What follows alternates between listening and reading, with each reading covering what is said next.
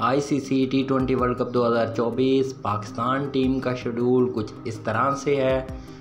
मैं हूँ आपका होस्ट अदनान अब्बास और आप देख रहे हैं sports lover YouTube channel Pakistan team, जो कि ICC T twenty World Cup में हिस्सा लेने के लिए यूएसए रवाना हो चुकी है यूएसए बल्कि पहुँच चुकी है।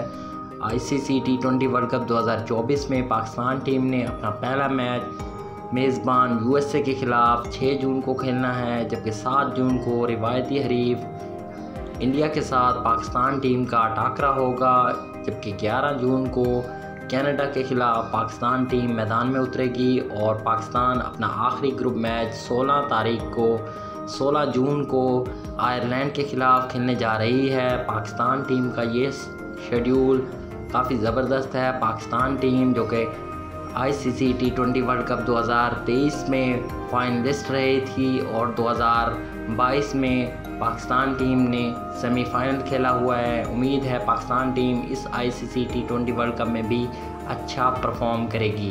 वीडियो अच्छी लगी है तो लाइक कीजिए चैनल को सब्सक्राइब कीजिए और बेल आइकन पर ज़रूर क्लिक कीजिए। मिलते हैं नई वीडियो के साथ, तब तक के लिए